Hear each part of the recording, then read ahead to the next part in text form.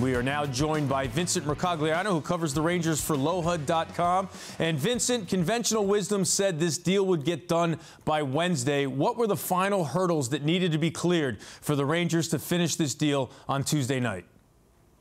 They had enough salary cap space to actually make the deal for Kane as soon as yesterday. But what they were waiting on in this final day or so was clearing enough salary cap space to also recall defenseman Braden Schneider, who they had to send down the other night in order to get back the accrual process on the pace where they needed for Kane. So Schneider was really the final piece they were waiting on on this. And once they passed 5 p.m. on Tuesday, then they officially had enough salary cap space to A, acquire Kane, and B, recall Schneider. Now, Kane and Artemi Panarin played together for two seasons in Chicago, and in their first year with the Blackhawks, Kane had an MVP season. So, how well do you expect him to fit in with this blue shirt squad?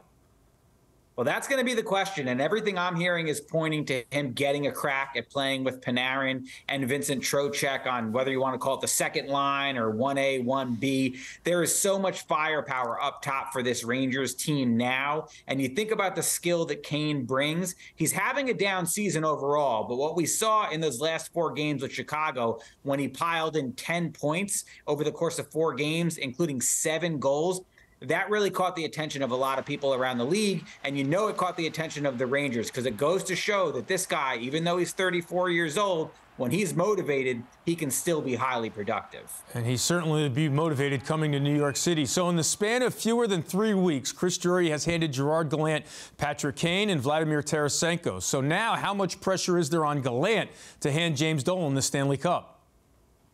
A lot these are win now moves. The Rangers aren't probably going to be able to keep either of those guys next season because they're going to be tight on salary cap space again. And they have a lot of young players who they're going to prioritize signing. So the window for this team is now. They're looking at a potential really difficult first round matchup against the New Jersey Devils, who also made a big splash of their own this week. And then you look at the Eastern Conference top to bottom the top six teams in the East right now are the top six teams record wise overall in the entire league. So the playoffs are going to be a meat grinder, and the expectations are going to be almost unfairly high for all of those teams, Rangers included. But if they don't go far with the team that Chris Drury built, you can be sure that there will be a strong level of disappointment. Rangers are on the ice Wednesday against the Flyers, but the Patrick Kane era with the Blue Shirts begin on Thursday when New York hosts the Senators.